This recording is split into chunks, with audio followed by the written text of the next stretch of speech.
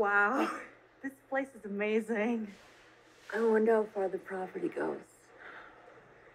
So, Dorothy, did you hear the rumors? What rumors?